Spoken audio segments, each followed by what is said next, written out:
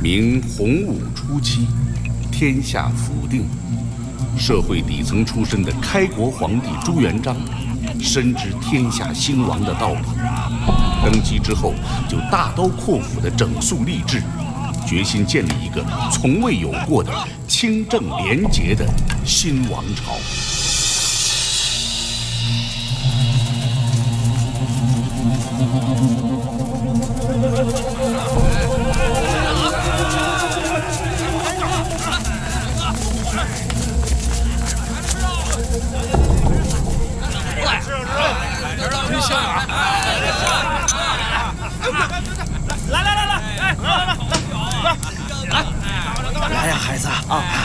吃点啊！哎，多吃点。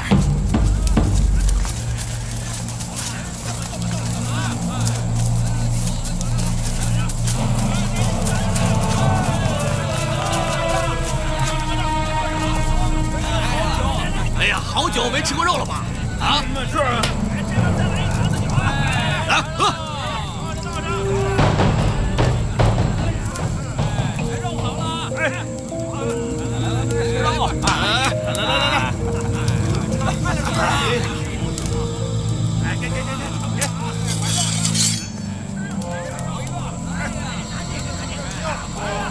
放走一个，活捉贼首高峰和黄岗二人。是，杀！杀！不好！不好了！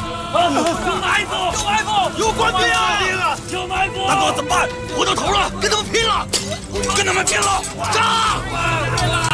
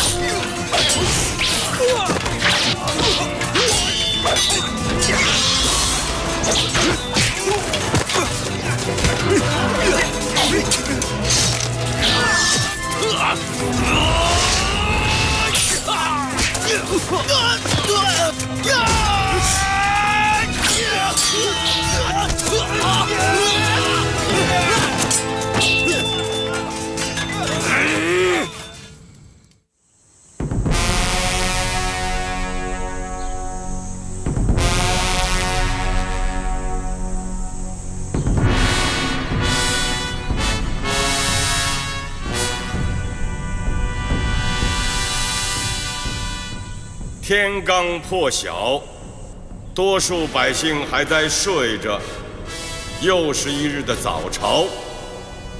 你们当中有人烦了吗？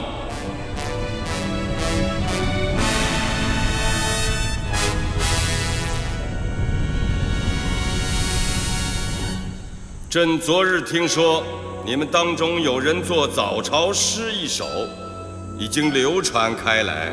朕也听人念了，说什么“四鼓咚咚起着衣，午门朝见上贤池，何日得遂田园乐，睡到人间饭熟时”。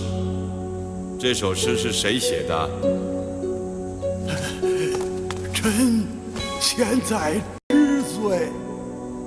千载？臣本无心，臣本无心呐。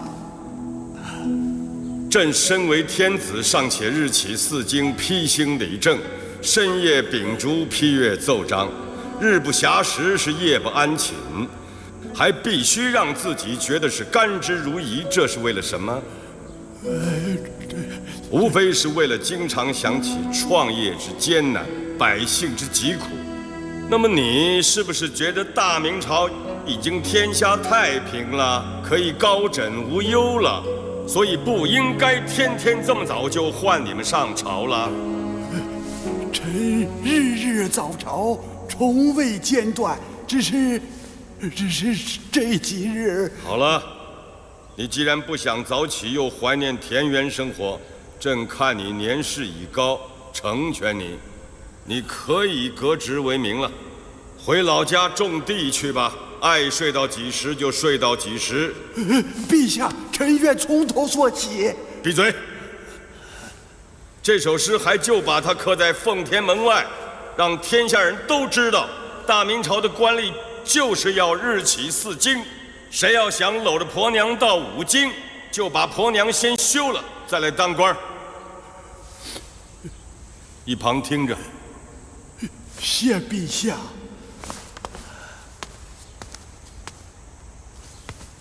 启禀陛下，凤阳暴乱头目高峰、黄刚，昨夜已经押解至京。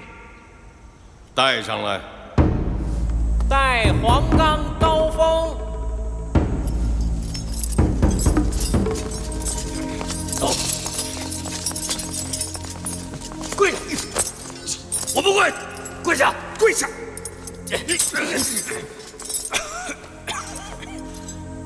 你们哪一个是高峰啊？我死到临头了，有什么话要说吗？你就是朱元璋啊！嗯，放肆！我是朱元璋，当今的皇帝。你是个什么东西啊？和你差不多，都是活不下去了才造反的。我也当过要饭和尚，哼，就是运气没你好。出言不逊，念在同乡的份上，姑且饶过。你不就是东乡的重八吗？啊，行，我佩服你。替我们凤阳人争了脸，可是犯在你手里，你饶过谁呀？拖下去斩！是是，走走，老子不怕，我也去。站住！朕有话要问你。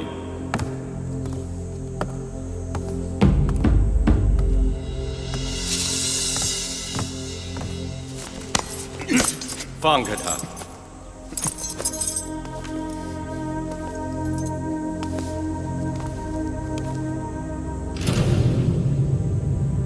读过书吗？认得几个字儿。那个呢？跟我差不多。他说：“活不下去了。”何至于此啊？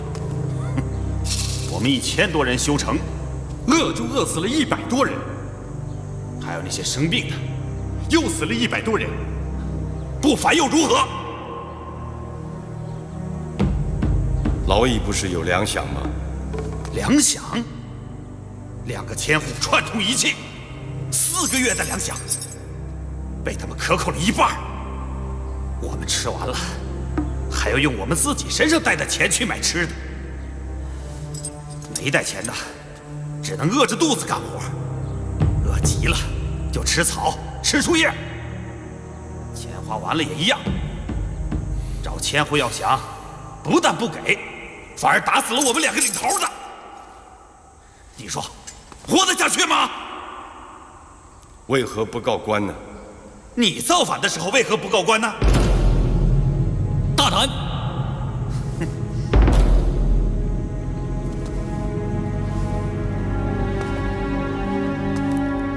黄觉寺还在吗？在。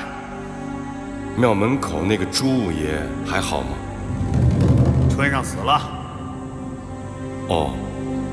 也是饿死的。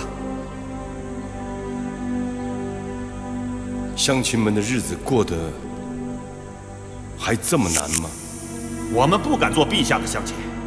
我们离你们东乡还有四十里地呢，沾不上什么光。难道比雇员的时候过得还差？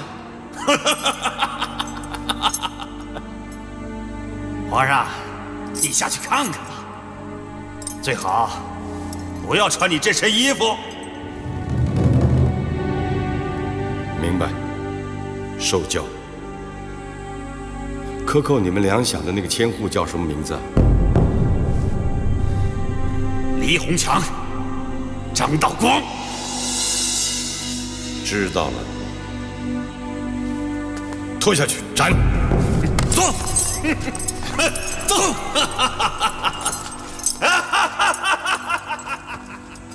你们刚才都听到了。自建朝以来，朕三令五申苦口婆心地劝诫你们，为官者务必要吸取元朝父王的教训，要安分守法、克勤克俭，切不可亲谋公堂、剥削百姓。为什么直到今天，各地的民变依然不断的发生，甚至连朕的老家都能发生民变？民可载舟，亦可覆舟。你们当中不会有人不明白这个道理。难道你们还希望再看到一个朱元璋？那还得再死多少人？韩铎，微臣在。凤阳克扣粮饷之事，你知道多少？微臣调查了，乱民所言，并无根据。是吗？根据微臣调查，凤阳筑城之民工确有一千余人，也确实死过一些，但从无发生贪污粮饷、致人厄运之事。民工丧亡，皆因当地瘟疫肆虐，无力抵挡。千户黎洪强、张道光二人忠于职守，克己奉公，视民如子，更不可能激起民变。望陛下明鉴。依你所言，凤阳为什么会发生民变？陛下，凡生民变之处，必有民众聚集，则良莠混同，其中难免夹杂别有用心之徒。此等人挑拨是非，煽风点火，唯恐天下不乱。方才高峰、黄冈二人即为此类，对这种人一定要施以铁腕，严厉镇压，杀一儆百，后防患于未然。朕当年起事时，算不算得别有用心之徒啊？这，刚才那高峰算不算得又是一个朱元璋啊？胡惟庸说说。启禀。陛下，据工部营缮所之所成，郑世元揭发，工部左侍郎韩铎上任以后，伙同工部郎中丁四忠、翁京正、员外郎胡顺华、姚能玉等官员，先后放卖工匠两千五百五十五名，德钞一万三千三百五十贯，克扣工匠伙食钱三千贯。倒卖炉柴两万八千捆，得钞六千贯；还倒卖木炭八十多万斤，得钞一万六千贯。上述款项都被他们贪污私分入籍。昨夜又查明凤阳之乱，也与韩铎对部下的纵容有关。陛下，这些数字都是捏造杜撰。郑世元上任不足三月，工部事务尚且生疏，既然象壁虚构，作伪寻衅，血口喷人，一定有人背后唆使，居心叵测，希望陛下明察。你自上任这一年多，自认为干得怎么样啊？微臣上任以后，不忘皇恩，恪尽职守，奉公守法。清正廉洁，日日早来晚归，兢兢业业，不敢稍有懈怠。大事小情，未曾出过大的差错。这十多天来，朕命你在宫里清理元朝典籍，你都没往别处想吗？微臣不敢胡思乱想。来人，将丁四忠、胡顺华。翁京正、姚能玉四人带上来。带人犯。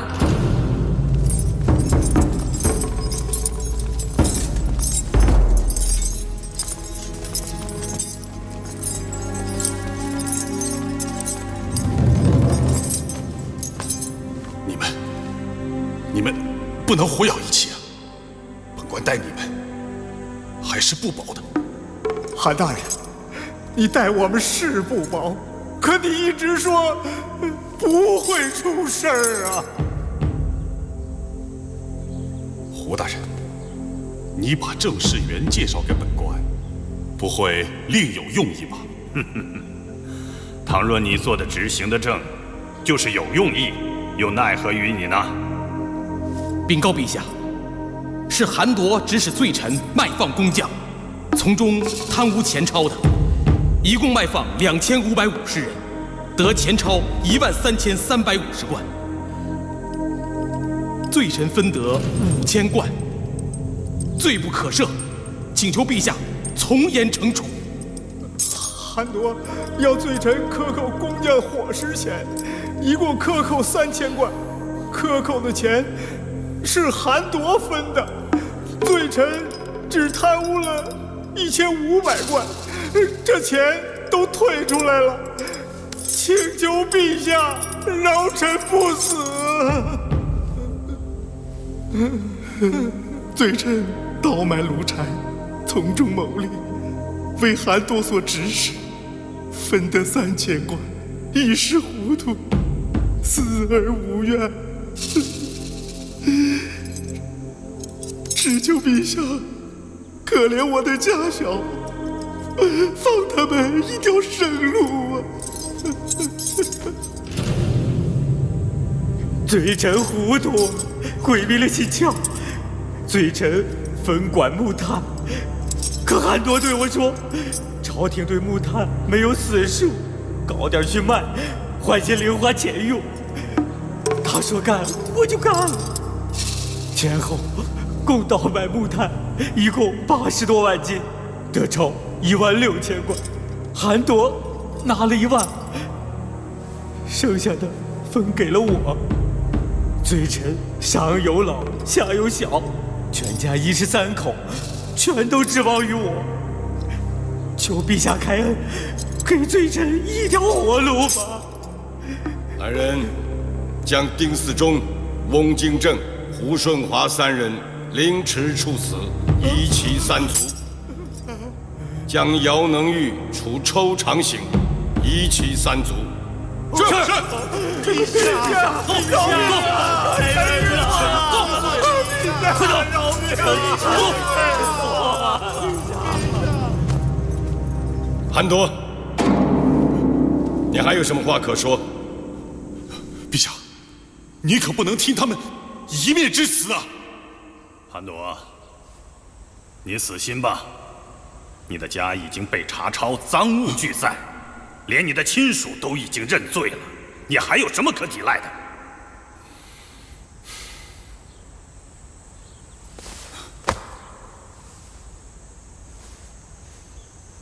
韩多，朕待你不薄啊！做一个清官，太辛苦了。罪臣挣三品，月俸十担。若想治田治产，永远没希望。陛下，你为我们这些臣子们想过吗？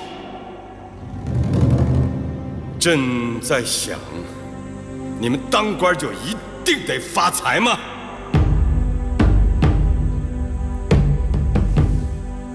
朕告诉你们，朕都替你们想过了。以今天的国力，能够给你们的，也不过就是一个三四十亩、四五十亩地田主的敬意。要想再多，没有办法，国力有限，所以让你们生活要量入为出。不可浪费，宁可有余，勿令不足。自开国以来，朕难道是第一次跟你们说这个话吗？陛下，自古以来，千里做官就是为了发财。请问，在这里的这些人，有一半是干净的吗？你放心，朕会见到一个杀一个。朕要杀尽天下贪官。你不是第一个，也不会是最后一个。来人，在，将韩夺楚剥皮宣草行，夷其三族。是。奏陛下，陛下。朕出自布衣。你们当中没有人比朕更了解什么叫农民。四民之中，士最贵，农最劳。什么叫农民？春天，鸡鸣即起，就得扛着犁，赶着牛到地里去耕种。好不容易栽下了禾，又得拔草、中耕，烈日炎炎之下，形体憔悴。到了秋天，有那么一点儿收成，书关之外能剩几何？一遇水旱虫灾，则全家大小惶惶然不知所终。而历来居官者，多数不念农民之艰难，只顾剥削虐害，毫无心肝。朕在民间之时，最痛恨的就是贪官。你们并不是真的知道那些农民是怎么样的挨饿受冻，怎么样的居无定所，你们也不知道他们饿极了会做出些什么事情。以千民公暴动，完全是出于贪官的杜政害民、无视王法，致使民无以遂其生，民无以遂其生，则亡国有日矣。国之既亡。与你们又何益之有？安！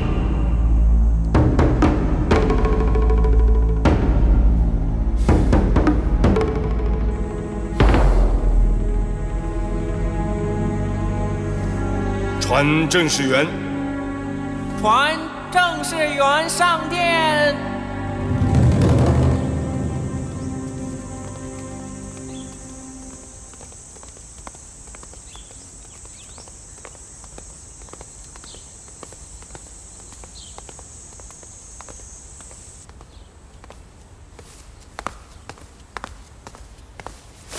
微臣郑世元恭请陛下圣安。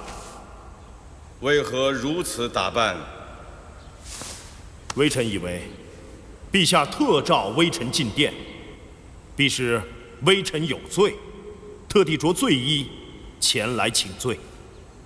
你以为你有什么罪啊？微臣告发本部韩大人等贪赃枉法、克扣钱钞，以为所呈之状。必被驳回。韩铎乃正三品朝廷命官，为朕所倚重，就凭你一个小小的九品官，能随便告得倒吗？微臣是这样想的。就算是能告倒，也不会来得如此之快。若是告不倒呢？微臣要一直告下去。告到获罪为止吗？是。那么你以为朕应该表彰你了？微臣不敢。但微臣以为，在大旱之年，陛下尤其应该重视肃正反贪。嗯，接着说。惩治一个粮长，能够救活三五人家；但是惩治一个贪官，或许可以救活成百上千的饥民。你说得好，朕赏赐正式员两千贯作为鼓励。谢陛下隆恩，但微臣受之有愧。朕决定任命你为监察御史正七品。谢陛下隆恩。平身。谢陛下。今日早朝。百官皆聚集在此，朕问你们：你们当中有没有人觉得这官当的没有意思了？您可悠闲在家。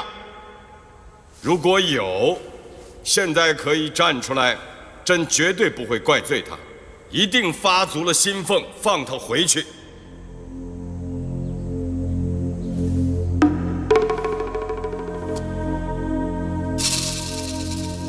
一个都没有吗？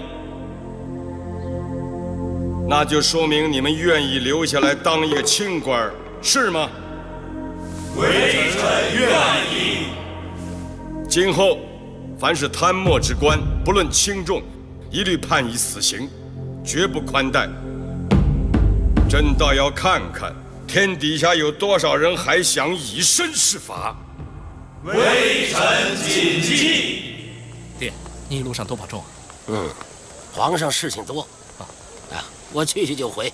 啊，爹，嗯，呃，如果皇上问起我，就说我一切都好。切，这还用你说？这小子。哎，老爷，你慢点啊。嗯。一路上伺候好老爷子，大人放心好了，一切都包在小的身上。好，走。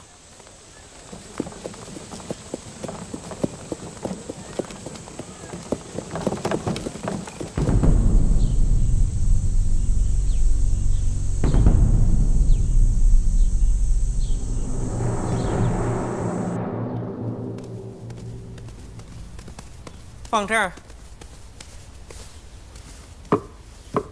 下去吧，彪儿，这是你的位置，坐下吧。是。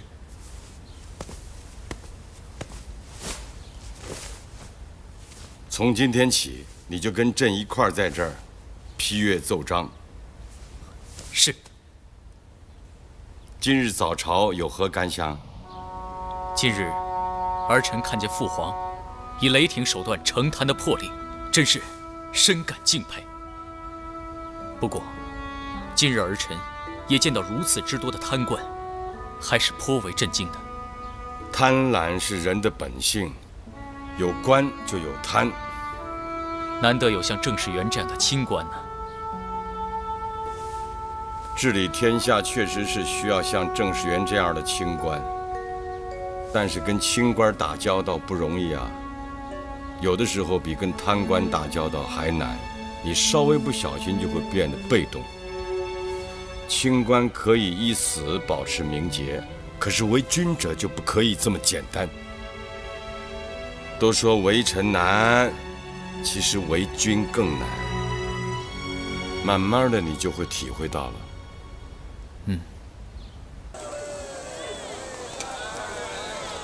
听说最近陛下派出一些监察御史。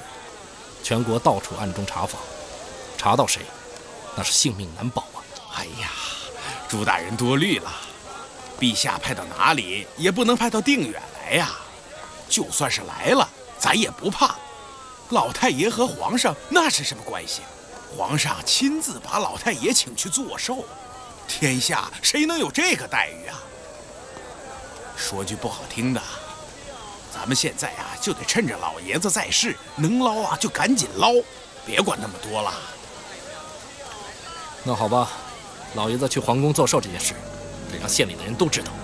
哎，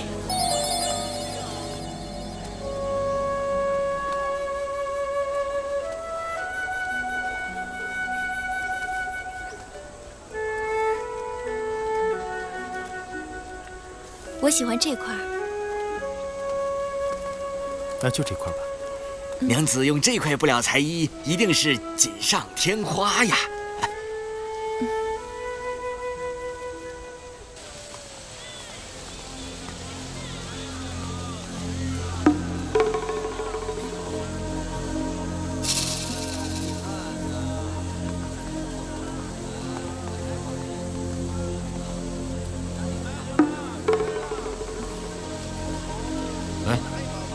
张仪带的小女子是谁呀？哈，这个是张仪新娶的媳妇儿。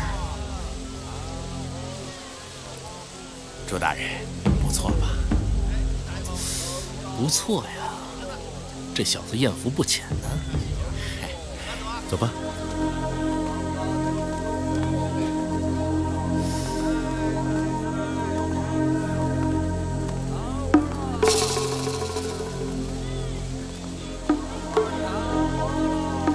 猜想，张仪要升官了，啊？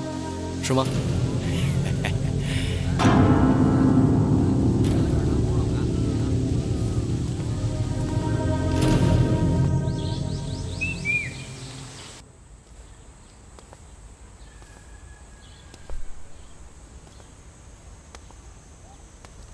世元，世元，快吃饭吧。来。哦，好。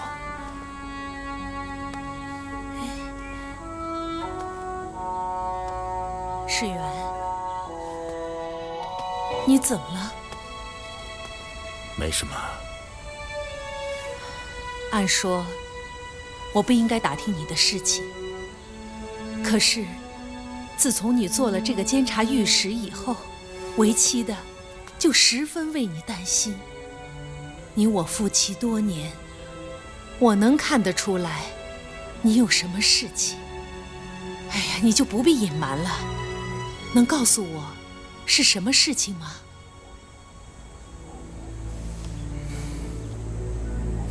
确实有件事情。什么事情啊？说出来，或许我能为你分忧啊。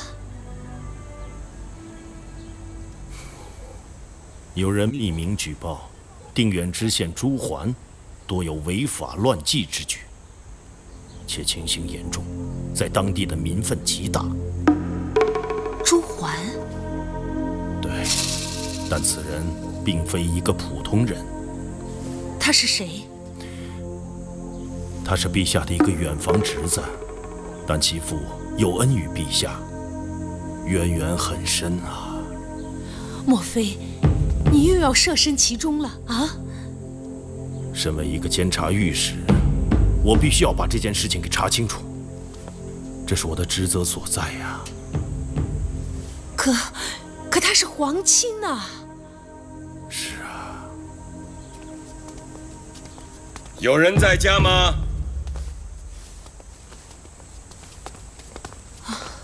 陛下，朕爱卿。陛下，微臣不知道陛下驾到，有失远迎，还望陛下恕罪。平身。谢陛下。朕来看看。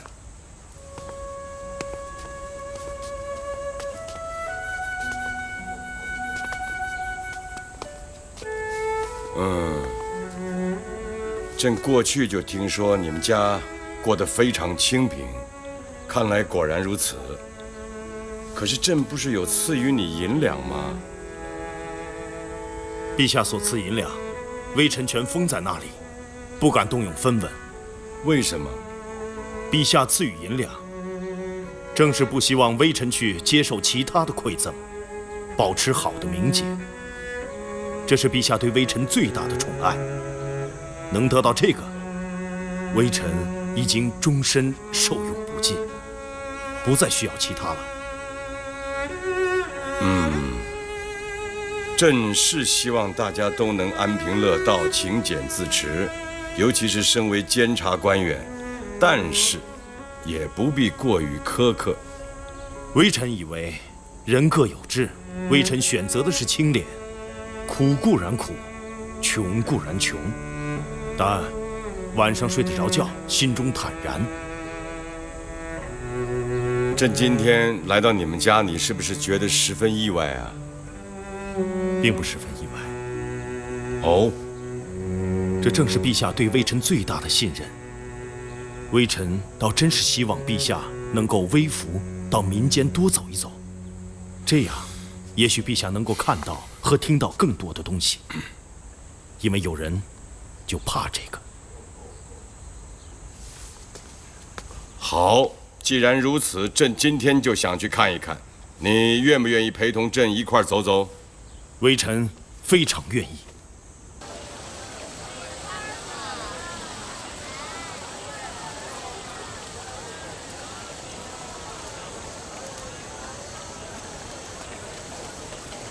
就在这一带吗？听说就在这一带，经常有人会看见。不过，陛下处死韩铎等人以后。影响很大，所以不一定现在还有。有时候，只是有钱的商人们在船上聚一聚。无妨，朕本来也想到民间来看一看，民间也容易遇到人才。朕当了皇帝之后就知道了，穿着龙袍是听不到什么真话的。客官，请用茶。好，慢用。好，去看看。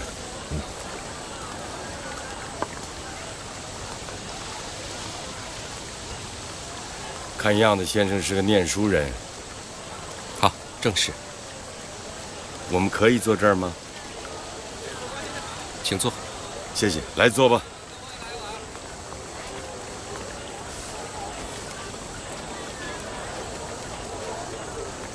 二位，请用茶。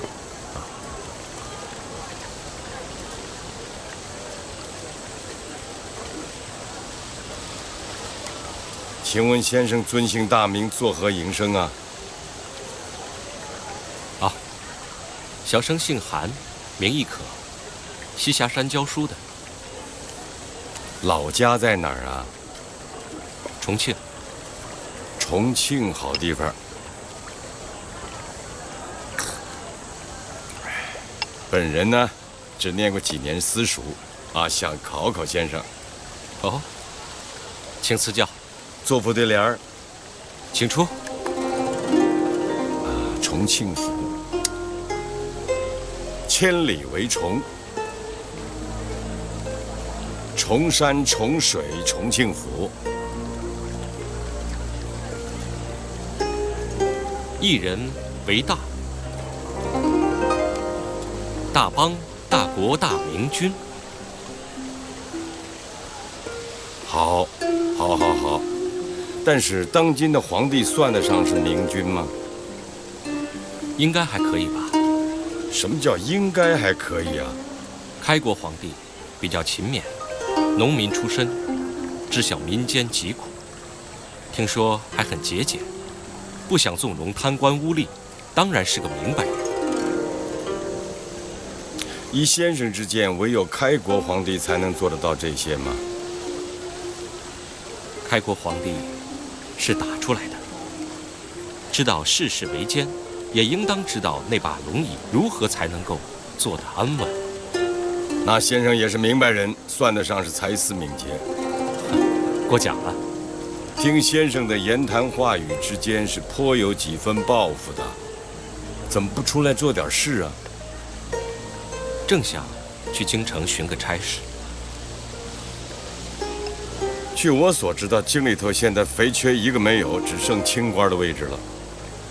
你怎么知道的？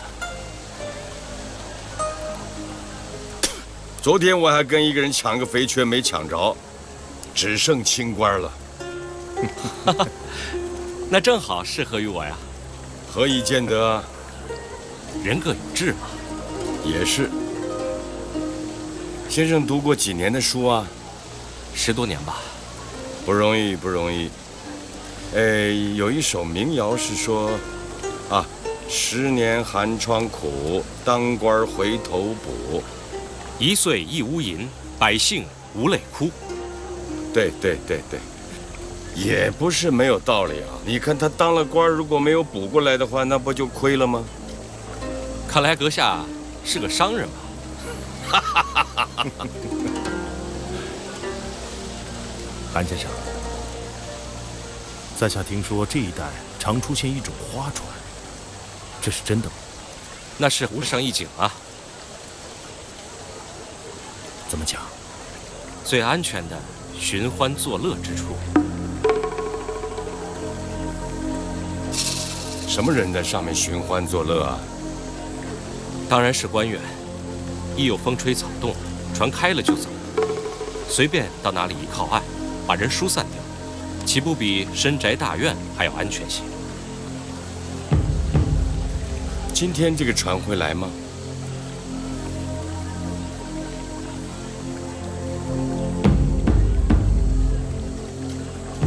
刚刚开过来的这条就像。他会过来吗？停停走走，岂不悠闲？这船上的官员，大半。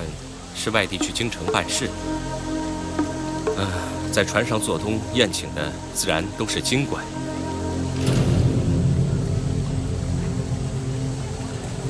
他们在船上已经待了一整夜了。哦，也可能有商人在船上谈些生意，包一条船至少要三百贯，而一位五品官的月俸才二十贯。老百姓都知道这些事吗？知道的人越来越多，老百姓的嘴谁能封得住啊？哼！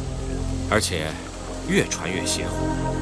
可是，就是没有人到船上去看过。离京城这么近，就没人举报？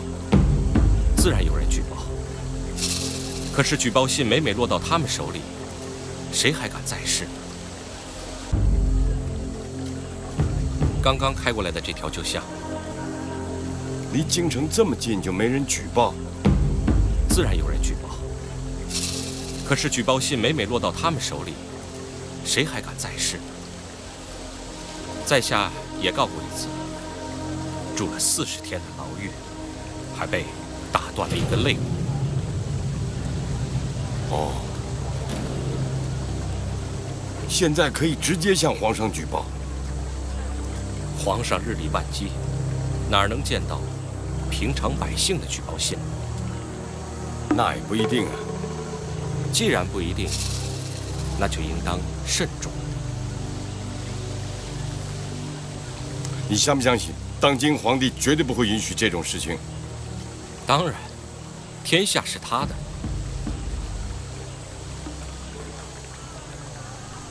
哎，那船就要靠岸了。好，在码头附近，总是要停一停的。怎么样才能上得了这条船？你们想干什么？我们也想告官呢，得看看究竟啊。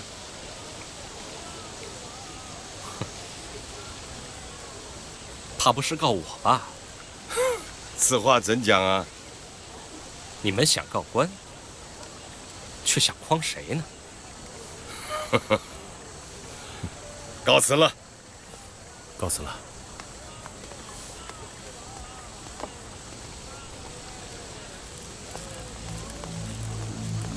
陛下，微臣实在担心，他们会认出你来。没那么容易吧？陛下。我担心船上有危险，怕什么？小点小点啊！这坛酒可贵着呢啊！先慢点，慢点，慢点啊！往里走，往里走啊！哎，你也去左边啊！啊，小心点啊！哎哎哎！几位想要干什么呀？我家老爷想到船上去看看，兜兜风。不可，这条船可是大官人包的。我们就是来找大官人谈生意的。哦。那你认识谁呀？上去不就认识了吗？哼，那就更不可了。我们认识的人是换来换去，我只认识你这条船。谢谢，但我不认识你们。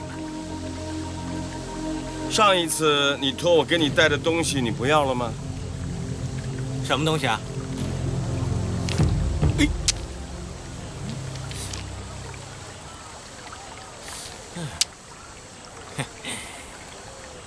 几位真是商家，不小的商家。规矩可懂得，少不了你好处。好嘞，几位客官，里面请。您慢点儿。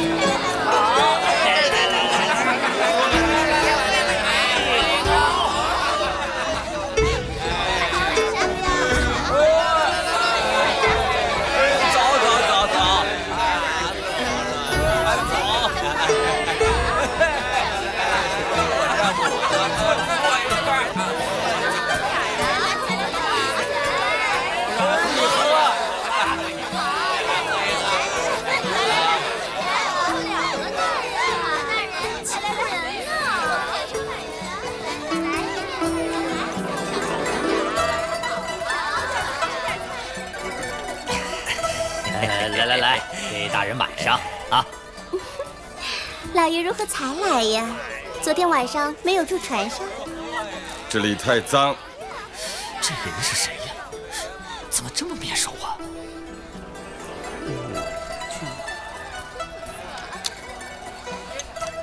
多大了？小女子芳龄十八。一直在船上啊？我还能去哪儿呢？大官人又不会带我走，带你走也不难。先说说昨天晚上陪谁睡了？这个我不能说。怕是别人不愿意让你伺候吧？谁说的？连徽州的康大人都喜欢我呢。该不会是康清寿知府大人吧？怎么不是啊？难道他的官不比您的大？他见了我得叫爷爷。你！大人，您气宇不凡，好英俊呐！气宇不凡还差不多，英俊差很多。你去看看。你先回屋里去，待会儿找你。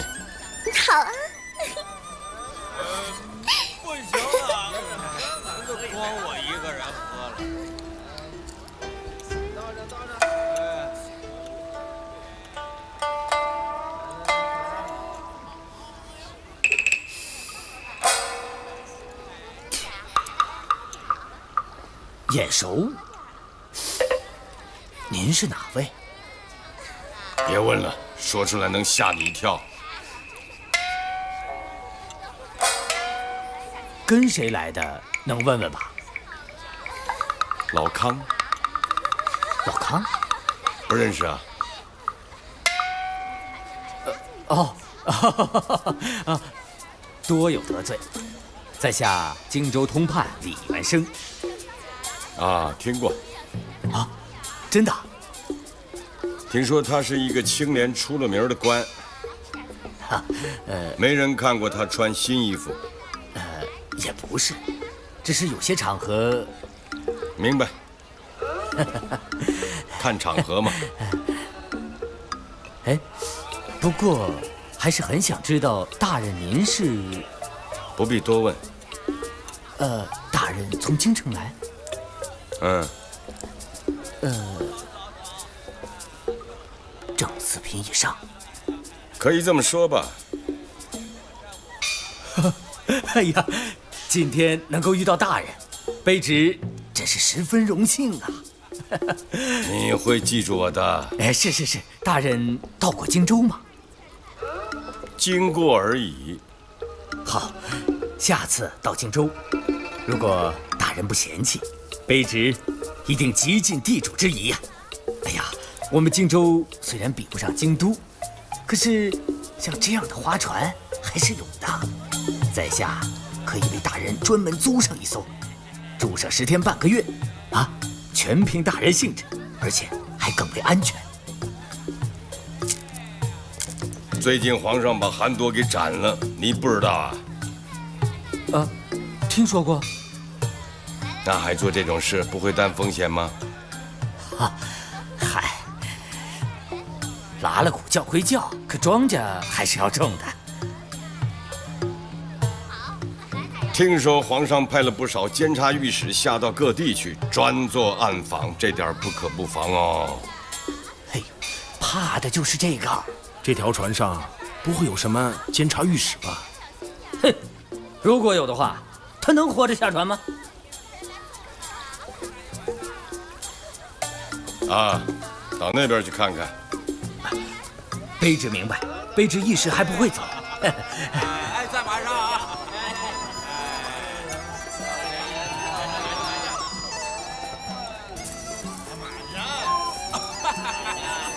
你也喝。和他们都说了些什么？正四品以上，不肯透露姓名。来，看得出来，身边还有马鞭。呃，来来来来来来，喝酒喝酒喝酒喝酒。陛下，别去了，危险。是啊，陛下，情况已经很清楚了，此地不宜久留。清楚什么了？朕难得出来一次。嗯，别躲呀！怪我。来，大人吃一口。让我亲亲。放肆！不。大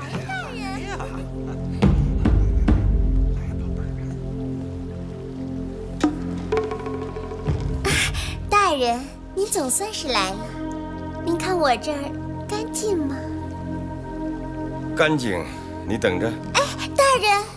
哎呀，大人好，你长得可真嫩呐！啊，刚才推门这个人怎么这么眼熟啊？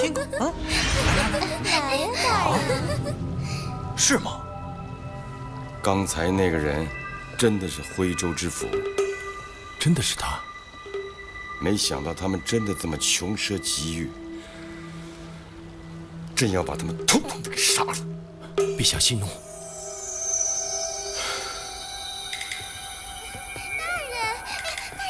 来亲一口。无礼！哎呦，哎，大官人，小人打扰，小人打扰，你还不赶快给我出去！是是这样，大官人啊，小人是做丝绸买卖的，算是有点本钱的。那么就是希望认识大官人您这样的人，帮我们在地方上，在京城里面做点买卖。本官又不是做生意的，那是，但是我们也是人生地不熟。官面上缺少朋友。好啦，你要是早来片刻，我就把你扔到外面河里去。那是那是，可是小人实在没有打扰大人的意思。嗯，你们怎么找到这儿来的？荆州知府林大人介绍。哦，但是我们要找的人他下船了呢。丝绸，苏州丝绸。货色怎么样？货色上乘。我们做的都是大买卖，啊，想投机取巧。哎，您放心，小人是懂得规矩的啊。但是不知道大人您在这个地方上是不是多有联络啊？我的地面就是通州啊，啊，口天吴，你们没有一点耳闻吗？哎呦，如雷贯耳啊！知府大人，在下有礼了。你快快快，哎，请大官人笑纳。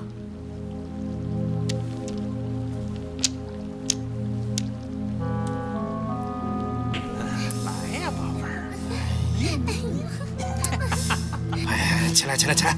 哎哎，去那边。哎，宝贝儿，这个人怎么好像……哎呀，大人，别那么疑神疑鬼的。不对，你们赶紧穿衣服，出去出去出去！啊，真哎，快点穿衣服！怎么了？嗯，走吧。大人，不对呀！快让开！快点快点，都让开！快让开！快都让开！快走！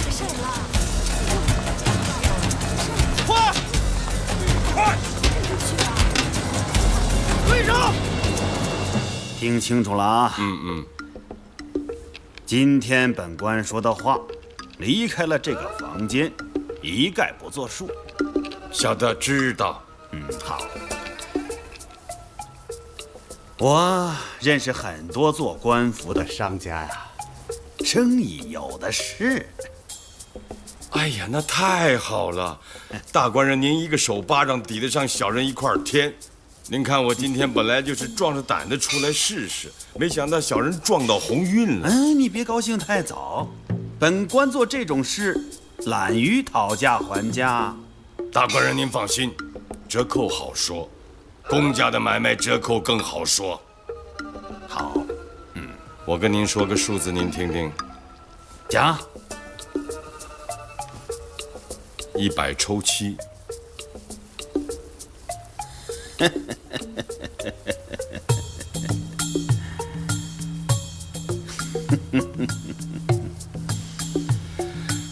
一百抽十，没有十抽二，免谈。十抽二啊，嗯，啊，你这个人怎么整不明白？咱们做的是公家的生意，我把价格抬高点儿，不就全有了吗？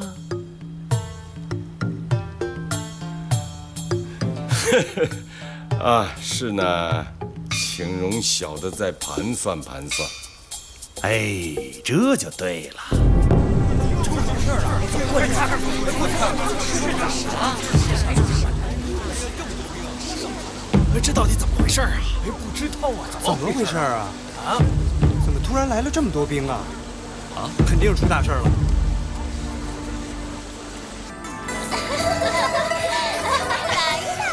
林大人，林大人呢？你们都下去，下去。走吧，走吧，走吧。出什么事了？刚才有两个人到我的船舱去，我看其中一位很像，啊，做商人打扮。对呀，穿褐色长袍啊。哎呀，刚才就坐在这儿。我说这个人怎么这么眼熟啊？太像，太像了。哎呀，这这这这，刚才你们都说了些什么？都向大人禀告了，四品以上。什么四品？哎呀，哎呀，果真是他，我们都用完了。说什么什么？出事了，出事了！皇上来了，怎么回事？皇上在哪儿啊？就是最后上船的那个。皇上，你看见了吗？没有啊。你看见了吗？没有啊。那他还在船上吗？那肯定在啊，这船又没靠岸。各位大人，这是怎么了？我问你，刚才上来那几个人干什么的？大商人，做买卖的。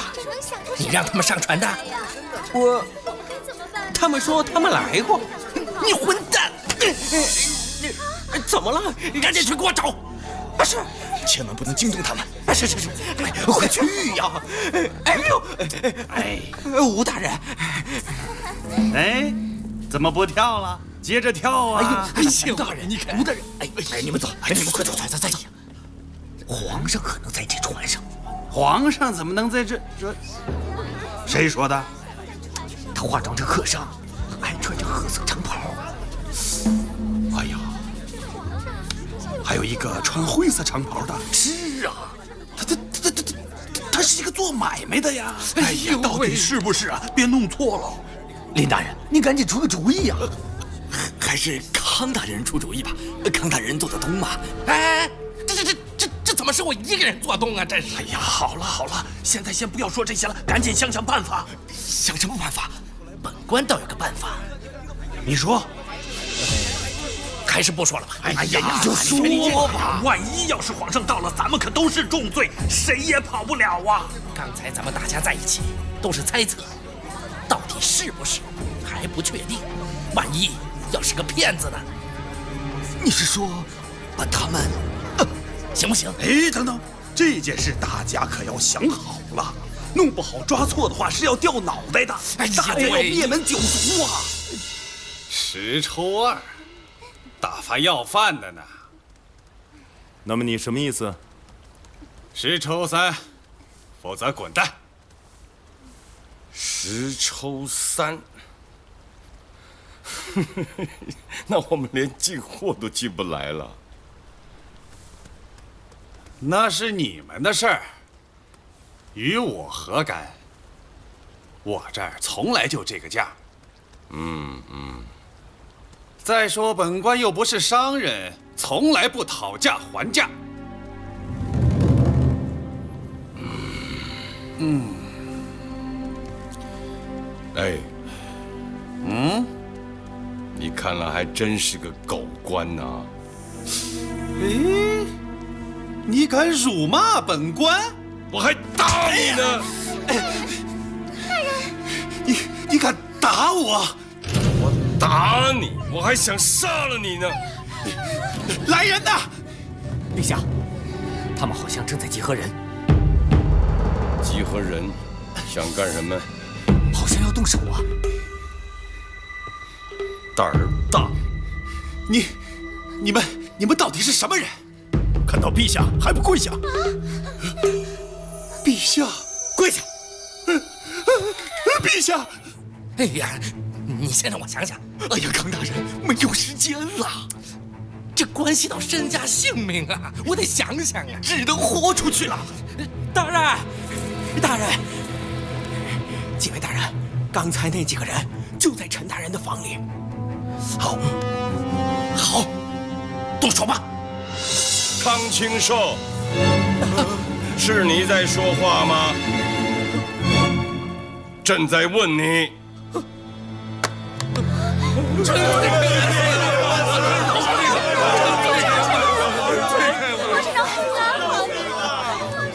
通州知府吴志清。哎呀，微臣在呀，微臣在，微臣罪该万死！微臣有眼无珠，冒犯了皇上的龙颜，罪该万死啊！罪该万死！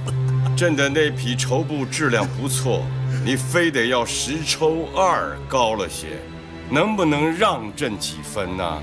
微臣罪该万死，当时涂的嘴里痛快呀！在这条船上，你们图的不仅仅是嘴巴快活吧？刚才还想干什么呀？臣不敢，臣不敢，臣真的不知是皇上啊！朕让你们受惊了，继续玩吧，剩下的时间不多了。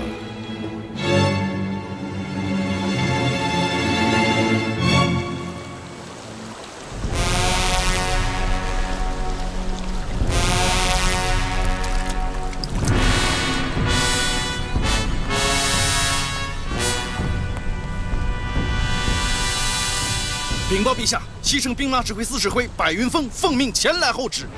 把船上的人都抓起来，凡是官员验明身份，不论大小，不分请客被请，一律送交大理寺严加审问。遵命。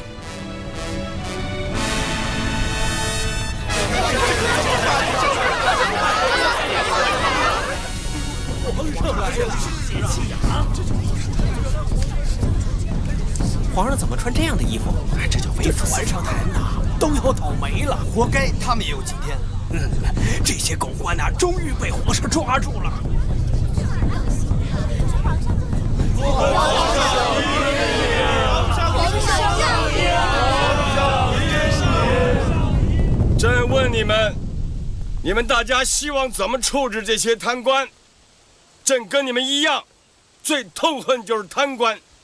贪官是你们的死对头，也是朕的死对头，所以你们放心，只要朕在，绝不会让这些贪官过上一天好日子，一定给大家一个满意的结果。你们大家相信不相信？相信。陛下，既然抓到了，就不能放过他们。对，不能放过他们，不能放过他们，不能放过他们。陛下，他们是自作自受啊！你们放心。朕刚才说过，只要朕在，绝不会轻易饶过这些贪官，一定让大家过上好日子。谢谢陛下，谢谢陛下。大家起来吧，起来，起来，起来，起来。谢谢陛下，谢谢陛下，谢谢陛下。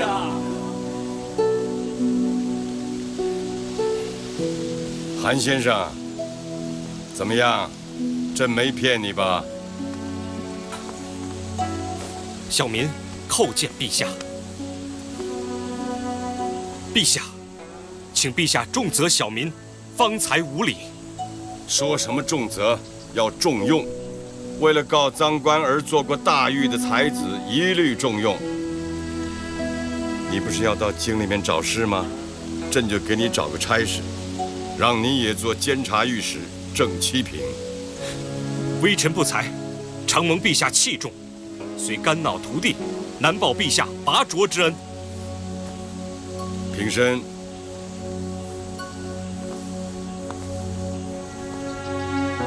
嗯，不错，今天总算让朕还遇到一件欣慰的事情。那么今后你就要跟郑世元一样，要马不停蹄地巡查全国，继续再查出一些这一类的大案，以振贪墨之风。遵旨。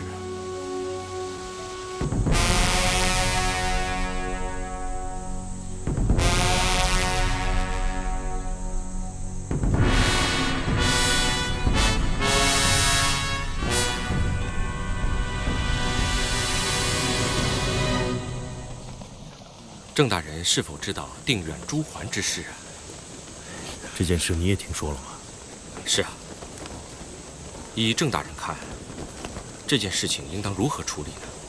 这件事我已经想了很久了，今日上朝就要向陛下禀报。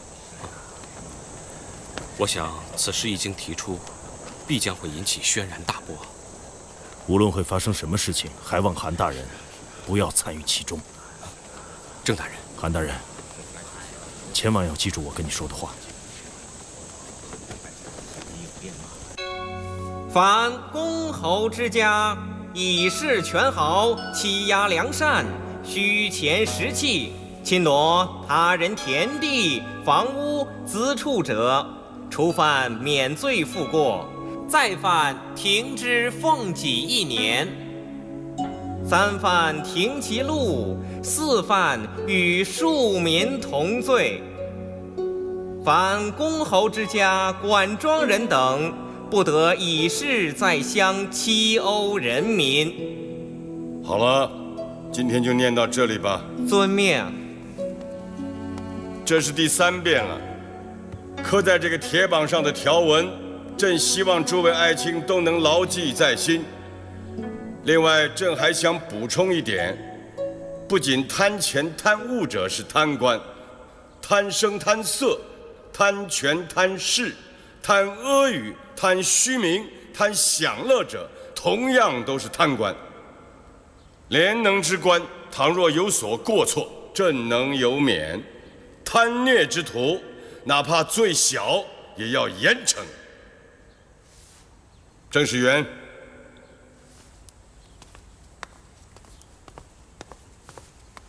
微臣在。有关类似花船的腐败事件，你认为在全国还有多少？回禀陛下，卑职以为，树欲静而风不止，贪墨腐败之风，自。元初至元末，愈演愈烈。我朝新建不久，官员中因袭旧习者大有人在。即使陛下三令五申，仍会有人心存侥幸，以身试法。因此，对待整治腐败一事，应是长久之计。郑爱卿所言极是。花船一案，若非民间早有风闻，朝廷也是无法得知。所以朕决定恢复封文言事制度，你以为怎么样？陛下，微臣完全拥护。施行此法，将会揪出一大批贪官，使他们难逃法网。郑世元，你在民间还听说过什么风闻了吗？听到过。说说看。陛下。微臣想另找一个时间禀报，但说无妨。陛下，现在就讲。在百姓中有一种传言，说定远知县朱桓在当地敲诈勒索，在民间怨言甚多。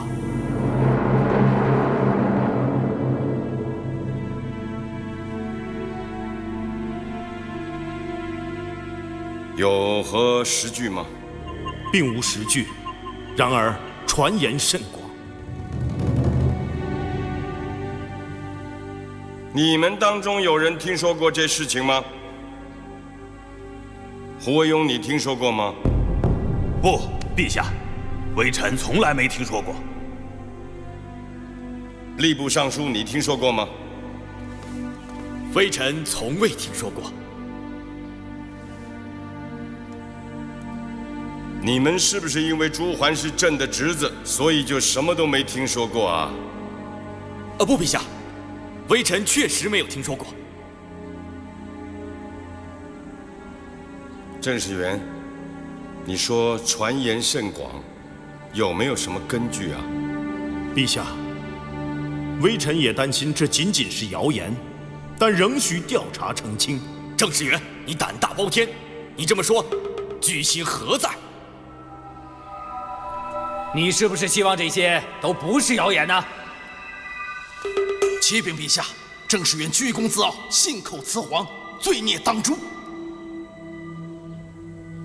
陛下，微臣两年前曾经去过定远，定远知县朱桓在当地不惧权贵，政声俱佳，绝无郑世元所指控之事。陛下，微臣并没有指控朱桓，只是方才陛下提倡风闻言事。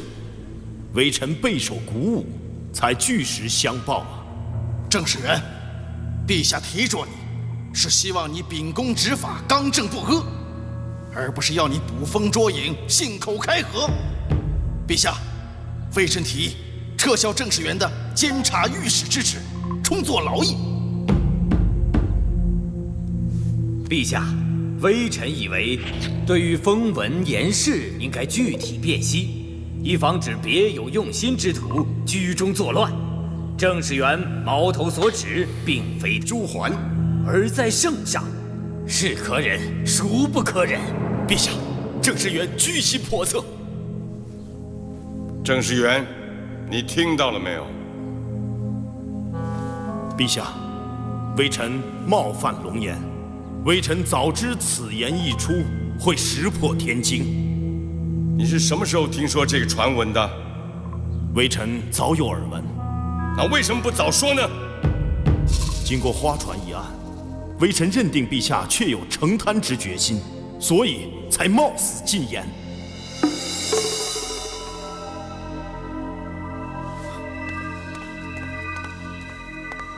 陛下，微臣也曾听说过有关朱桓之传言。你听说过什么？微臣曾不止一次的在百姓中听说，定远知县朱桓借皇亲国戚之威望，在民间为非作歹，横征暴敛。